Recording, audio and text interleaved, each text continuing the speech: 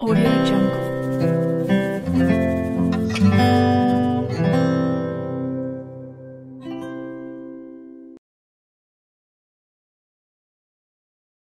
નમસ્કાર વિદ્યાર્થી મિત્રો. શ્રી બિબેન પીબી હિરપરા કન્યા વિદ્યાલય કાલાવડ વતી આપનું આ ધોરણ બાર વિષય બીએ ચેપ્ટર નંબર ટુ અને લેક્ચર વનમાં હાર્દિક સ્વાગત કરું છું.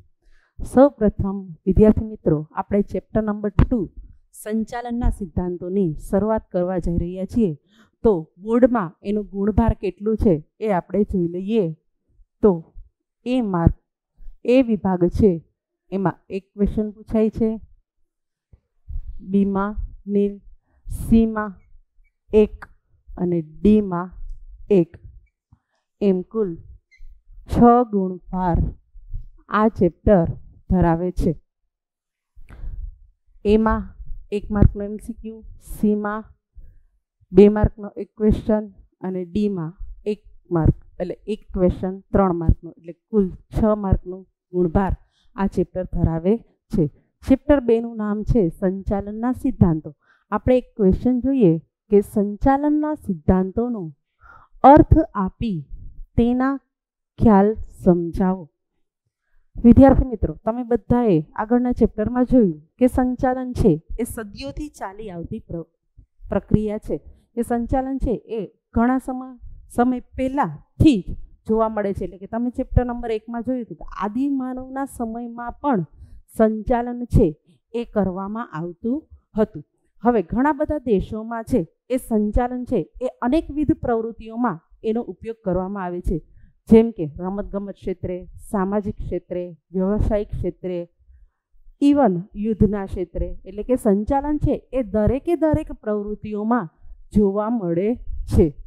ભારતમાં ચંદ્રગુપ્ત મૌર્યના સમયમાં રાજ્ય વ્યવસ્થામાં અને છત્રપતિ શિવાજી મહારાજના સમયમાં યુદ્ધની રણનીતિમાં સંચાલનનો ઉપયોગ થયેલો જોવા મળે છે. વિદ્યાર્થી મિત્રો, આ એક માર્કમાં પૂછાય છે કે ભારતમાં ચંદ્રગુપ્ત મૌર્યનો સમય જે શાસનનો સમય હતો, એ શાસન વ્યવસ્થામાં પણ રાજ્ય વ્યવસ્થામાં સંચાલનનો ઉપયોગ કરેલો છે. જ્યારે છત્રપતિ શિવાજી મહારાજના સમયમાં યુદ્ધ રણનીતિમાં પણ સંચાલનનો સમાવેશ કરવામાં આવે છે. જુદા જુદા સંચાલન શાસ્ત્રીઓએ જુદા જુદા સમય માટે સંચાલનના સિદ્ધાંતો આપેલા છે. હવે આ સંચાલનના સિદ્ધાંતનો ખ્યાલ કેવો છે? પ્રાચીન છે, એટલે કે જૂનો છે. જે સમયાંતરે શું થાય છે? બદલાતો રહે છે. કઈ રીતે? તો કે જૂના સમયે જે ટેકનોલોજી હતી, એ ટેકનોલોજીમાં પણ અત્યારે શું આવે છે? ફેરફાર આવે છે. જે ત્યારે જે સાધનો ઉપલબ્ધ હતા, એ સાધનોમાં પણ અત્યારે શું છે? ફેરફાર આવે છે. ત્યારે જે માનવ વર્તણૂક હતી, એ માનવ વર્તણૂકમાં પણ હવે શું આવે છે? ફેરફાર આવે છે. એટલે કે જેમ જેમ ટેકનોલોજી, માનવ વર્તણૂક બધામાં બદલાવ આવતો જાય છે, એ રીતે આ સંચાલનનો ખ્યાલ પણ બદલાતો રહે છે. જુદા જુદા સંચાલન શાસ્ત્રીઓએ સમયને ધ્યાનમાં રાખીને સંચાલનના સિદ્ધાંતો પ્રતિપાદન કરેલા છે, એટલે કે આપણને આપેલા છે. જેમાં મહત્વનો ફાળો ધરાવતા Frederick Taylor, Henry Fayol, Gilbreth, Max Weber, Chester Barnard, Peter F Drucker અને સી કે પ્રહલાદનો સમાવેશ થાય છે કે જેણે બદલાતા જતા સમયને અનુસાર આપણને સંચાલનના સિદ્ધાંતો આપેલા છે કે જેમ જેમ સમય બદલાતો જાય છે, એમ એમ સંચાલનના સિદ્ધાંતોમાં પણ નવા નવા સુધારા વધારા ઉમેરો કરેલા છે. આ બધા સંચાલન શાસ્ત્રીઓએ મહત્વનો ફાળો આપેલો છે, જેમાંથી એક હેરલ્ડ કુંતઝે સંચાલનની વિચારધારાઓને જંગલ તરીકે ઓળખાવી છે. આ પણ એક માર્કમાં પૂછાય છે કે કયા સંચાલન શાસ્ત્રીએ સંચાલનની વિચારધારાઓને જંગલ તરીકે ઓળખાવી છે. તો હેરલ્ડ કુંતઝે હેરલ્ડ કુંતઝે કહ્યું છે કે સંચાલનની વિચારધારાઓને જંગલ તરીકે ઓળખવામાં આવે છે. હવે આપણે જોઈ લઈએ સંચાલનના સિદ્ધાંતોનો અર્થ. સંચાલનના સિદ્ધાંતો છે, એ સંચાલકો માટે માર્ગદર્શક ભૂમિકા છે. માર્ગદર્શક એટલે તો કે સંચાલન અંગેના નિર્ણયો લેવા માટે એમાંથી એને માર્ગદર્શન પૂરું પડી શકે છે. સંચાલનના સિદ્ધાંતો સંચાલકો માટે માર્ગદર્શક ભૂમિકા છે. સંચાલનના સિદ્ધાંતો છે એ નિયમો નથી એટલે કે સંચાલન કરતી વખતે આ નિયમો ફરજિયાત અપનાવવા જરૂરી નથી કે ચુસ્તપણે એનો અમલ થવો જોઈએ એવું છે નહીં. પણ સંચાલનના સિદ્ધાંતો છે એ માત્ર ને માત્ર અગાઉ કરવામાં આવેલી ધારણાઓ, અગાઉ અપનાવવામાં આવેલી રૂઢિઓ અને અગાઉ થયેલ અનુભવોનો નિચોડ છે. આ અનુભવોનો નિચોડ છે. એક માર્કમાં પૂછાઈ શકે છે કે સંચાલનના સિદ્ધાંતો છે એ નિયમો નથી, માત્ર અગાઉ જે ધારણાઓ કરવામાં આવેલી છે, રૂઢિઓ અપનાવેલી છે, અનુભવો જે થયેલા છે, એનો નિચોડ છે કે જેના આધારે સંચાલક છે એ હાલની પરિસ્થિતિને ધ્યાનમાં રાખીને કેવો નિર્ણય લેવો એ અનુસાર માર્ગદર્શન મેળવી શકે છે. જુદા જુદા સંચાલનોએ સંચાલનના સિદ્ધાંતો જુદી જુદી પરિસ્થિતિને ધ્યાનમાં રાખી અને જુદા જુદા તારણો અપનાવેલા છે. હવે જે આ તારણો મેળવેલા છે, એ તારણો ખરેખર વાસ્તવિક વ્યવહારમાં જોઈએ તો અનુકૂળ સાબિત થયા છે. અને જે આ માર્ગદર્શક ભૂમિકાના જે આ અનુભવો છે, એના આધારે જુદી જુદી પરિસ્થિતિમાં એ સમય દરમિયાન જે નિર્ણયો લેવાયેલા છે, એ નિર્ણયો હાલમાં પણ એણે તારણ મેળવેલા, વ્યવહારમાં અમલમાં મૂક્યા. તો અમલમાં મૂકવાથી એનું પરિણામ કેવું મળેલું છે?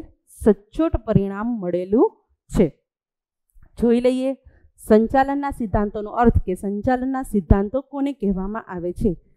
ધંધાકીય એકમમાં માનવ વર્તણૂકને સાનુકૂળ કરવા માટે. સાનુકૂળનું કહી શકીએ અનુકૂળ. કરવા માટે અમુક નિયમો, સિદ્ધાંતો ઘડવા પડે છે.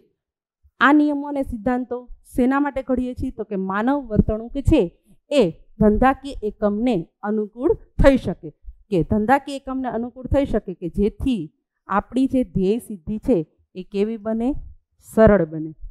ફરીથી અર્થ રિપીટ કરી લઈએ કે ધંધાકીય એકમમાં માનવ વર્તણૂકને સાનુકૂળ કરવા માટે અમુક નિયમો અને સિદ્ધાંતો ઘડવા પડે છે. જો કોઈ પણ ધંધાકીય એકમમાં નિયમો કે સિદ્ધાંતો ઘડવામાં આવેલા નહીં હોય, તો કોઈ પણ માનવ છે, એ ગમે તેમ રીતે પોતાના મન ફાવે એ રીતે એ વર્તન કરી શકે છે, કે જેના કારણે તમારી ધ્યેય સિદ્ધિ કેવી બની શકે છે?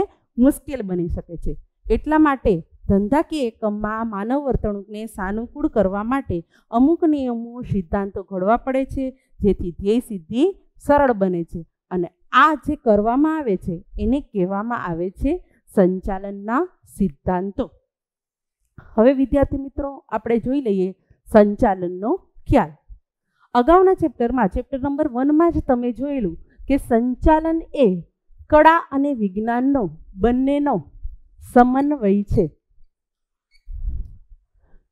હવે જ્યાં વિજ્ઞાન હશે, ત્યાં સિદ્ધાંતો ચોક્કસ હશે જ. બરાબર છે? વિજ્ઞાન હશે, ત્યાં સિદ્ધાંતો હોવા સ્વાભાવિક છે. પણ સંચાલન છે એ શુદ્ધ વિજ્ઞાન નથી. શુદ્ધ વિજ્ઞાન એટલે તો કે ગુરુત્વાકર્ષણનો નિયમ શું કહે છે? કે કોઈ પણ વસ્તુ ફેંકવામાં આવે, તો એ વસ્તુ ક્યાં જશે? નીચે જશે. આ રીતનું શુદ્ધ વિજ્ઞાન નથી, એટલે કે જડ નથી. પણ સમય અનુસાર પરિવર્તનશીલ સંચાલનના સિદ્ધાંતો જોવા મળે છે. સંચાલનના સિદ્ધાંતોને માનવ વર્તણૂક સાથે સીધો સંબંધ છે. હવે વિદ્યાર્થી મિત્રો, તમને બધાને ખબર છે કે માનવ વર્તણૂક સ્થિર રહેતી નથી. અગાઉ જે માનવ વર્તણૂક હતી પ્રાચીન સમયમાં, એ જ વર્તણૂક હાલ છે એવી છે નહીં. માનવ વર્તણૂકમાં જેમ જેમ ટેકનોલોજીમાં બદલાવ આવે છે, એમ એમ માનવ વર્તણૂકમાં પણ શું થાય છે?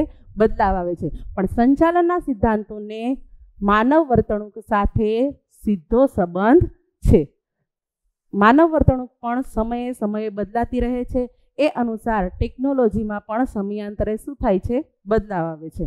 એટલે માનવ વર્તણૂક અને ટેકનોલોજીના બદલાવના કારણે સંચાલનના સિદ્ધાંતો પણ પરિવર્તનશીલ રાખવા પડે છે. એટલે કે એમાં પણ ફેરફારો કરવા પડે છે.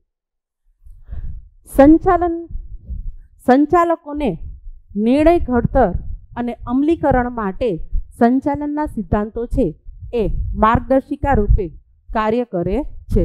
એટલે કે કોઈ પણ ધંધાકીય એકમમાં ધ્યેય સિદ્ધિ માટે સફળતા કરવા માટે જે નિર્ણયો લેવાના હોય, એ નિર્ણયો લેવા માટે એ નિર્ણયનો અમલ કરવા માટે.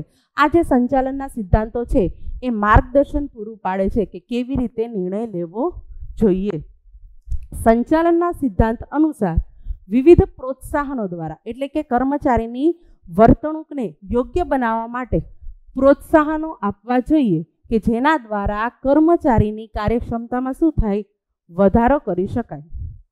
સંચાલનના સિદ્ધાંતો છે, સમય સમય અનુસાર અને દરેકે દરેક ધંધાકીય એકમ અનુસાર પણ થોડી માત્રામાં ફેરફાર સાથે અમલમાં મૂકી શકાય છે. જેમ કે, કર્મચારીની બઢતી અંગેનો તમારે નિર્ણય લેવો હોય, એટલે કે કર્મચારીની કાર્યક્ષમતામાં વધારો કરવો હોય, તો કર્મચારીની બઢતી અંગેનો નિર્ણય લેવો હોય, તો જૂના સમયમાં, આનથી થોડા વર્ષો પહેલાંના સમયમાં શું કરતા હતા?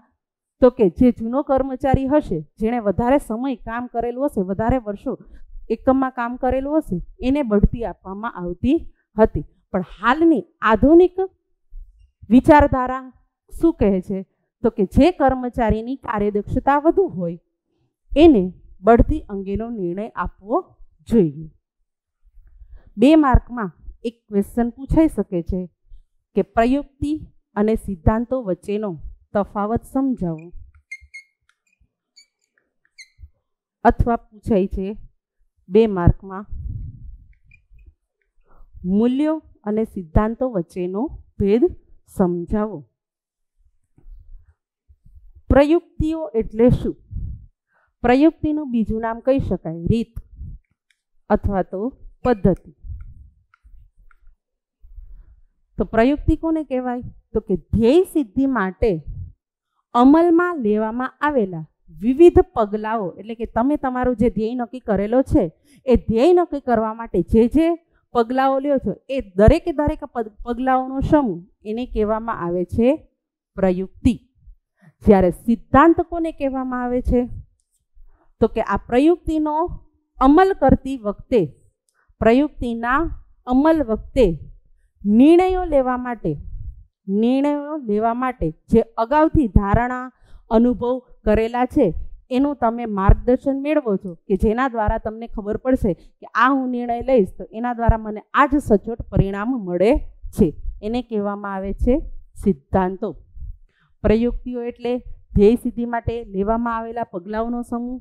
જ્યારે સિદ્ધાંતો એટલે પ્રયુક્તિના અમલ વખતે, એટલે કે પ્રયુક્તિ કઈ પદ્ધતિનો તમારે ઉપયોગ કરવો, એ જ્યારે નિર્ણય લેવો હોય, ત્યારે તમને આ સિદ્ધાંતો છે એ માર્ગદર્શન પૂરું પાડે છે. એ જ રીતે બે માર્કમાં પૂછાય છે. મૂલ્યો અને સિદ્ધાંતો વચ્ચેનો ભેદ સમજાવો. સૌથી પહેલાં તો મૂલ્યો. મૂલ્યો એ કેવા હોય છે? તો કે સ્વીકાર્ય હોય છે. સર્વને ઈચ્છનીય હોય છે અને મૂલ્યો કોની સાથે સંબંધ ધરાવે છે? નૈતિકતા સાથે સંબંધ ધરાવે છે. હવે સૌથી પહેલાં તો આપણે એ જોઈએ કે મૂલ્યો એટલે શું? મૂલ્ય કોને કહેવામાં આવે? તો કે ખોટું ન બોલવું જોઈએ. કોઈ સાથે છેતરપિંડી ન કરવી જોઈએ. ભેળસેળવાળો માલ ગ્રાહકોને ન આપવો જોઈએ. આ છે એ સર્વસામાન્ય, સ્વીકાર્ય, ઈચ્છનીય અને નૈતિકતા સાથે સંબંધ ધરાવતા મૂલ્યો છે, કે જે આપણને સર્વને બધાને અનુકૂળ છે. જ્યારે સિદ્ધાંતો એટલે શું? તો કે માનવ વર્તણૂક, સામાન્ય સત્ય અને માર્ગદર્શિકા છે. સિદ્ધાંતો એટલે માનવ વર્તણૂકને અનુકૂળ, સામાન્ય સત્ય છે અને માર્ગદર્શિકા છે કે આપણે આપણી માનવ વર્તણૂક યોગ્ય રાખવી જોઈએ. યોગ્ય રીતે ધંધાકીય એકમમાં કામ કરવું જોઈએ. એ રીતે માનવ વર્તણૂક કેવી હોવી જોઈએ એ અંગેનું માર્ગદર્શન કેવી કરાવવી જોઈએ ધંધાકીય એકમમાં કેવી લાગુ પાડવી જોઈએ એ અંગેનું માર્ગદર્શન છે એ પૂરું પાડે છે. અસ્તુ વધુ નેક્સ્ટ લેક્ચર